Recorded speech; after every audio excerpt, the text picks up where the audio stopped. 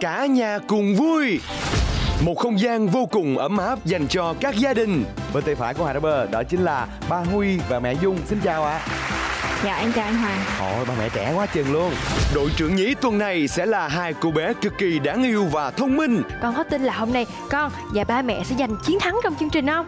Dạ có. Rồi Những thử thách có làm khó được sự phán đoán của các bé hay không? Mẹ con có thể trả lời được 11 món đồ ừ, 11 món đồ rồi nha Các ba mẹ chú ý nha Ba mẹ sẽ cùng nhau vượt qua như thế nào? à, Mình Hay quá ba ơi à. Hồi hộp, căng thẳng, vỡ òa từng phút giây Chiến thắng sẽ gọi tên gia đình nào? Tất cả sẽ được bật mí trong tập 49 Cả nhà cùng vui Được phát sóng vào lúc 17 giờ thứ bảy, Ngày 1 tháng 5 năm 2021 Trên kênh truyền hình Vlog 1